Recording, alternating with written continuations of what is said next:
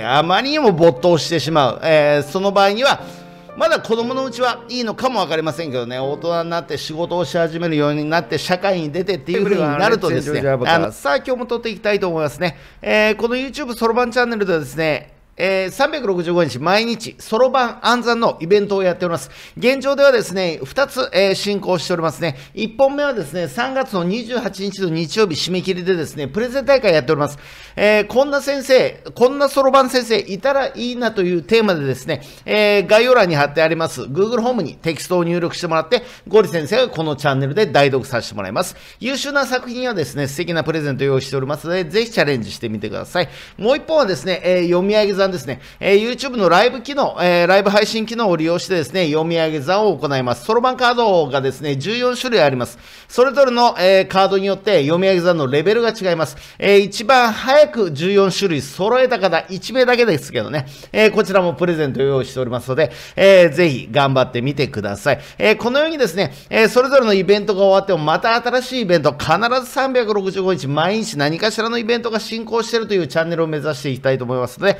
ぜひ応援してください。はい、今日の本題はですね、そろばん学習で身につく超集中力、えー、過集中にならないためのコントロール法というお話をしていきたいと思います。えー、もうそろばん学習、暗算学習でですね、えー、集中力が身につくんだという話は、もう耳にタコができるほど皆さん聞いてると思うんで、それはもう省かさせてもらいます。集中しすぎると、当然メリットは多いんですけども、実はデメリットもあります。デメリットは集中しすぎて他のものが怠ってしまうというような現状ですね。ただこの話をすると保護者の方、いや、うちの息子はもうむしろ逆に集中力、集中力をつけてほしいんだ。だからそろばんやらせるんです。とにかく一つのことに集中してほしい。その力が欲しいんで、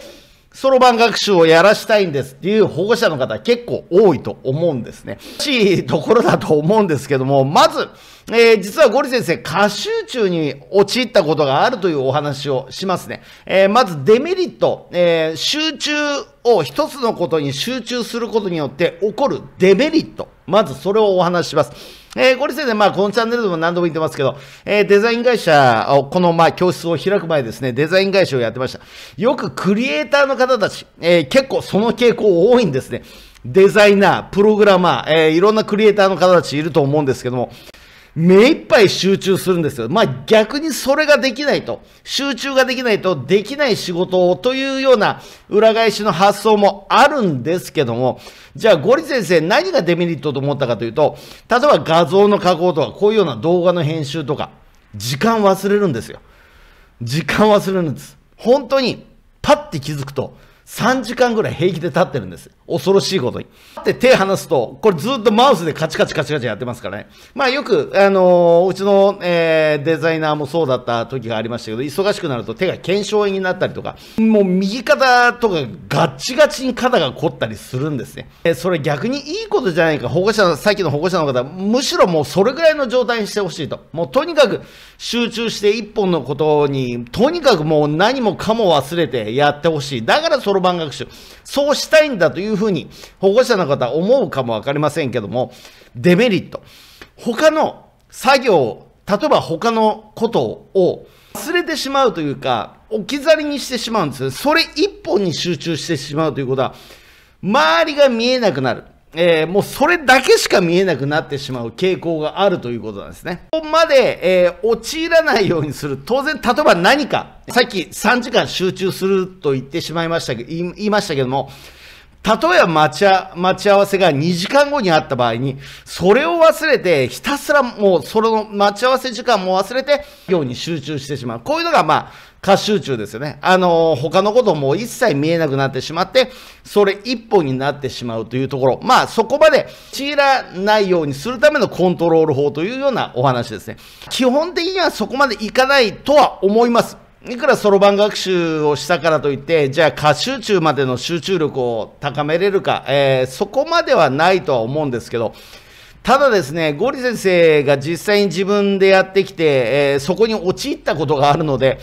脱却する。えー、方法も、あの、実は見つけて、えー、実行したことがありますから。まあ、で、歌手中に陥った場合、まあ、他のことでも多分活かせる場面っていうのが絶対出てくると思うので、あの、ぜひぜひ歌手中にならなくても、に絞ってしまって、他のことを忘れてしまう、他のスケジュールを忘れてしまうときに、それを防ぐ方法にも代用できると思うので、えー、今日はお話ししていきたいと思います。一番大事なことはですね、優先順位ですね。優先順位。もう、例えばその日の、まずはスケジュール、やらなければいけないことをまず優先順位をつけるために洗い出すことですよね。あの、じゃあみんな、生徒のみんなのところに置き換えるとすると、えー、家帰って宿題をやる、例えば塾の、えー、課題をやるとか、えー、いろんなことがあると思います。さあ、えお母さんに言われた、えお手伝いをするとか、な、いろいろとあると思いますね。で、まあ、それを、今日やるべきことを、まずはやらなければいけないことをこう洗い出すと。に対して、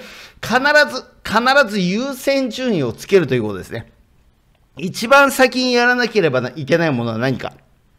一番大切なものは何かというところです。あとはその順位が決まったら確実に一つずつ、一つずつ消していくというところですね。一つずつ、一つずつ消していく。えー、そうしてしまえば、えー、ぐっと集中したときに、もう紙とかに書くといいですよね。えー、ゴリ先生もやってたんですけど、必ず朝来て会社に来て、えー、そのデザインとかの、えー、集中する仕事があった時ですね、必ずやるべきことを紙に書くんですあ、今日はこれだけ忙しいんだ。これだけやらなきゃいけないんだ。で、頭の中でまずシミュレーションする。じゃあ、この時間までこれをやって、次はこうしよう、こうしよう。で、最後にはここまでやろう。で、